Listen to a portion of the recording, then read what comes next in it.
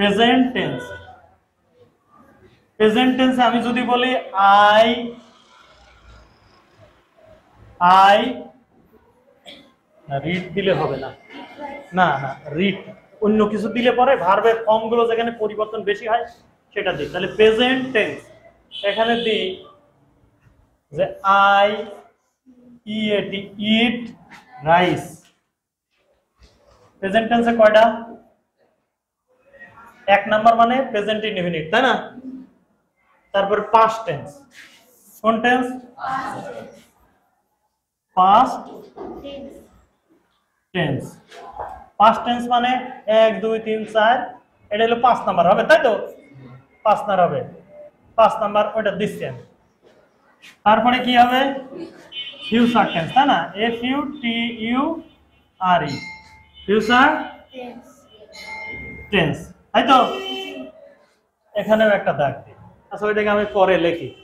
তাহলে I eat rice কোন tense আমি ভাত খাই। বাংলাটা কি? আমি ভাত খাই। ভালো করে বুঝবা। এক সেন্টেন্স দিয়ে বারো টেন্স লিখে তারপরে এখান থেকে যাব।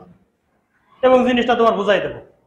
আইট রাইস কোন টেন্স প্রেজেন্ট ইনডিফিনিট টেন্সের এক নাম্বার স্ট্রাকচার কয় নাম্বার স্ট্রাকচার এক নাম্বার স্ট্রাকচার দুই নম্বর তিন নম্বর স্ট্রাকচার আমি পরে আলোচনা করব।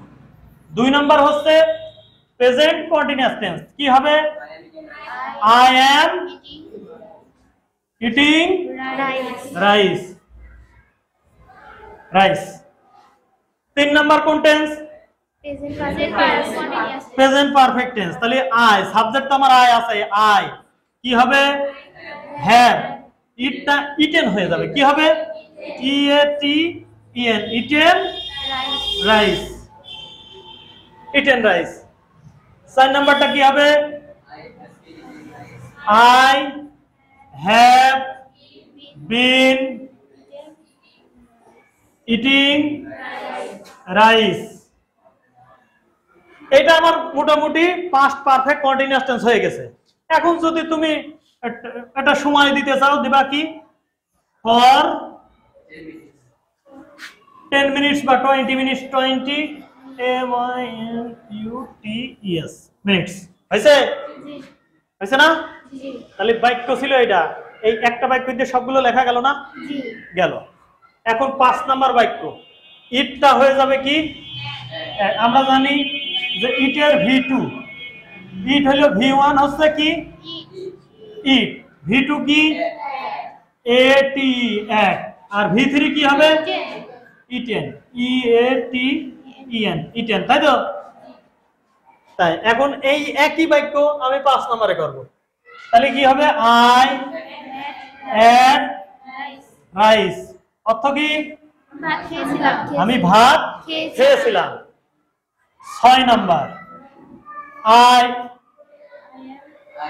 এই যে এই শাড়িটা খেয়াল করবা হ্যাঁ?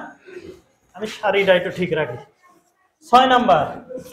I was I was eating rice আমি ভাত খাচ্ছিলাম আর কি হ্যাঁ?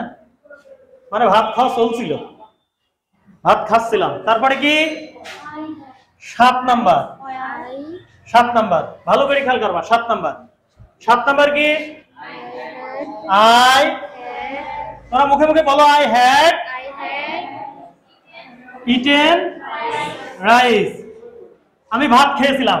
একটা জিনিস মনে রাখবা, এটাও যে অর্থ দেয় এইটাও সেই অর্থই দেয়। ঠিক আছে? আই ইট রাইস আমি ভাত খাই, আর এইটার মানে আমি ভাত খেয়েছি। বর্তমানে পারফেক্ট সম্ভব কিন্তু অতীতে তো সবই অতীত হয়ে গেছে। তাই আমি ভাত, এটাতেও ভাত খেয়েছিলাম, এটাতেও ভাত খেয়েছিলাম। কিন্তু বর্তমানের হয় কি? আমি ভাত খাই। স্বাভাবিকভাবে।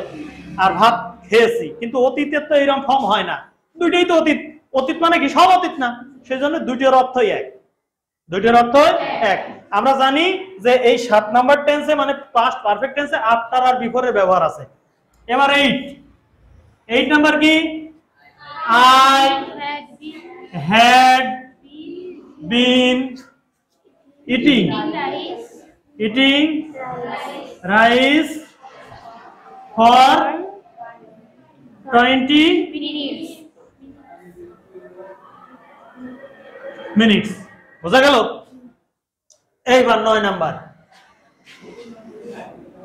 আমি ভাত খাই ভাত খেয়েছিলাম এবার ভাত খাব।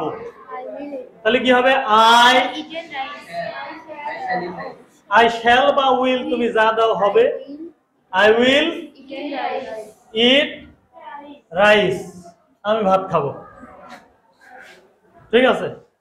ভাত খালি ভাতই খাব। তরকারি দে তরকারি দিয়ে খাব না? তারপরে কি? নয় নাম্বার গেল। তারপরে কি? দশ নাম্বার নাকি? আই শ্যাল বা উইল। যেহেতু আগেটা উইল দিলাম আবার এটা উইলই দিই। I will be eating. E A T I N G eating rice I will be eating Rice. Rice এইবার এগারো নাম্বার কয় নাম্বার? এগারো নাম্বার। এগারো নাম্বার কি হবে? I will have E A T N eaten rice সহজ না? এইভাবে তো যদি তুমি চেষ্টা করো সহজ। তারপরে বারো নাম্বার কি? বলো বলো। I will have been eating rice for twenty সুজা না? সুজা পারবা? পারবা না? যদি পারো তাহলে এখনই বারো টেন্সের আওতায় এটা এই বাক্যটা ফেলো তো যে he P L A plays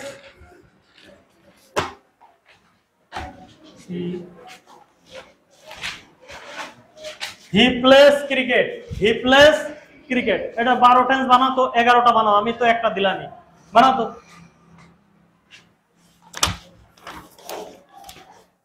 এটা বারোটা বানো এগারোটা বানো ইনশাল্লাহ পারবা।